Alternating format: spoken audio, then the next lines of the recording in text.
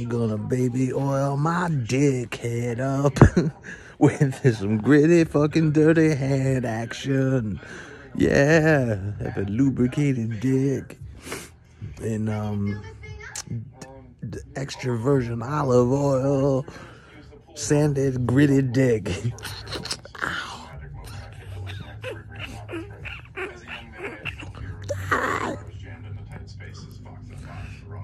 I put Jella on my bass speaker always.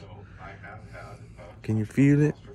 Jella rides my, my kick drum, my, my fucking kicker box. Play a little beat note, tune it to band, play it again. Ah. Jella Jill's out, creams on my fucking bass cabinet. I want to sit on the bass cabinet.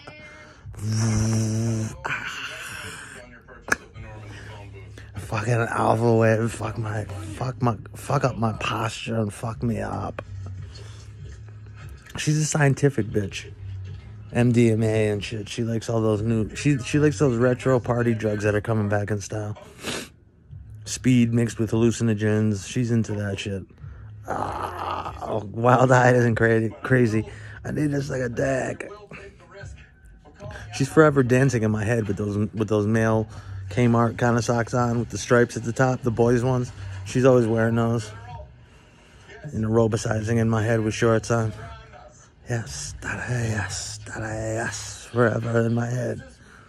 I remember being in the nut ward and fucking thinking about that.